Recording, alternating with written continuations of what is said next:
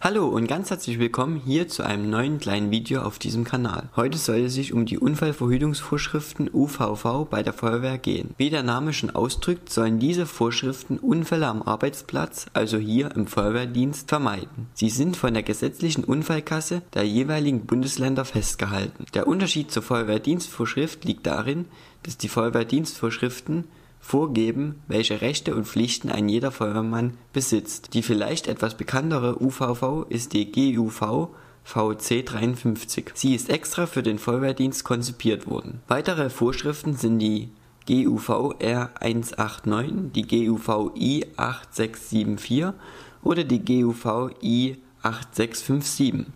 Sie gehen nochmal detaillierter und genau auf die verschiedenen Themen ein. Auch wenn das Thema für viele als ein sehr langweiliges und ödes Thema angesehen wird, solltet ihr es nicht vollständig ignorieren und ein wenig informiert sein. Natürlich gibt es auch für andere Bereiche solche GUV, wie zum Beispiel in der Forstwirtschaft. Wenn ihr wollt, dass ich die UVV der Feuerwehr, also die GUV VC 53, mal genauer vorstellen soll, dann stimmt jetzt oben rechts ab und zeigt es mir mit einem Daumen hoch. Das war's jetzt auch schon mit diesem Video. Ich hoffe, ich konnte euch damit einen kleinen Überblick über die UVVs geben. Wenn es zu diesem Thema noch Fragen geben sollte, dann könnt ihr sie gerne unten in die Kommentare schreiben. Gibt es auch andere Fragen, Wünsche oder Anregungen, dann schreibt auch diese unten in die Kommentare. Ansonsten würde ich mich über einen Daumen hoch freuen und wir sehen uns im nächsten Video wieder. Bis dahin und bleibt fasziniert.